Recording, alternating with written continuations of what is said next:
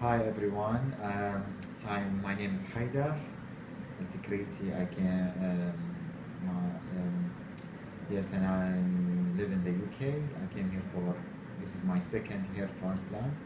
The first one went very good. The results was excellent, but I felt that I wanted to make my front area a bit thicker, so I came for the second transplant. My first transplant, first transplant took place about a year and a half ago so I came now, this is second time to complete the other hair transplant.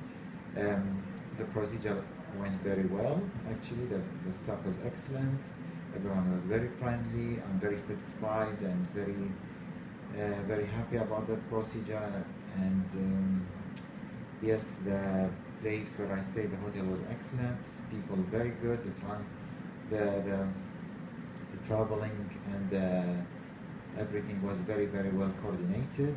I felt i'm very i mean i felt i wasn't i felt never i never felt i was like not sure about anything or something because everything was explained very well.